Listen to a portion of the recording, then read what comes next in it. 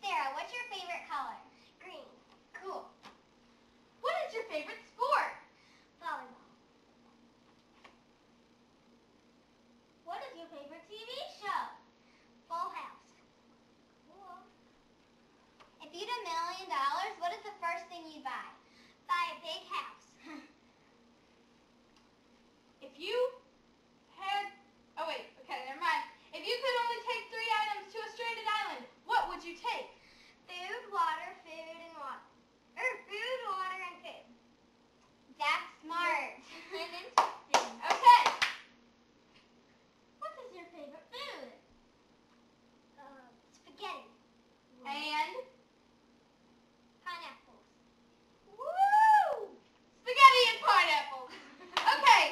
Back to the show.